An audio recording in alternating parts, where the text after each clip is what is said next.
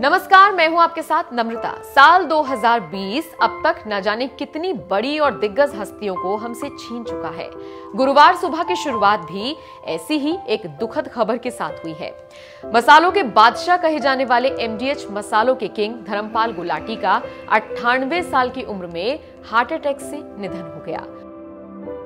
क्या आपको पता है, धर्मपाल गुलाटी ने अपनी ज़िंदगी में बहुत संघर्ष करने के बाद कामयाबी हासिल की थी। एक वो वक्त भी था जब धर्मपाल गुलाटी दिल्ली की सड़कों पर तांगा चलाकर अपना पेट भरने के लिए मजबूर थे। पाकिस्तान के सियालकोट में 27 मार्च 1923 को धर्मपाल गुलाटी का जन्म हुआ था। उन्होंने भारत पाकिस्तान बंटवारे के बाद दिल्ली में शरण ली और अपना गुजारा करने के लिए दिल्ली की सड़कों पर तांगा चलाया। समय बदला और उन्होंने अपनी जीविका को आगे बढ़ाने के लिए अपने पुश्तैनी कारोबार, यानी कि मसालों के कारोबार को आगे बढ़ा दिया। धीरे धीरे ये कारोबार फैलता गया और महाशिन दी हट्टी, यानी कि एमडीएच का नाम, एक ब्रांड के तौर पर लिया जाने लगा।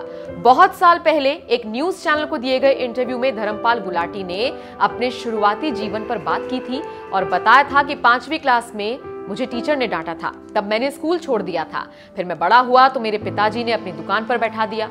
कुछ साल तक मैंने हार्डवेयर का काम भी किया और फिर मैंने वो भी छोड़ दिया। धर्मपाल गुलाटी ने बताया था कि फिर मैंने सड़कों पर घूम घूम कर मेहंदी का काम करना शुरू किया। मेहंदी के काम के बाद पिताजी के साथ मसाले का काम शुरू किया कि बंटवारे के वक्त सब कुछ खत्म हो गया। जब मैं दिल्ली आया तो मेरे पास महज गिने चुने पैसे थे। उन्हीं से मैंने अपना तांगा खरीदा और उसको सड़कों पर चलाना शुरू किया। तांगा चलाते वक्त बहुत दिक्कतों का सामना करना पड़ता था। हालाँकि फिर मैंने ये भी छोड़ दिया और अपने पुश्तैनी काम को शुरू किया। तब से लेकर अब तक अपनी कड़ी मेहनत और लगन से धर्मपाल गुलाटी ने अपना खुद का एम्पायर खड़ा किया। यकीनन, तांगा चलाने से लेकर अरबों खरबों की संपत्ति जुटाने तक का ये संघर्ष बेहद प्रेरणादायक है।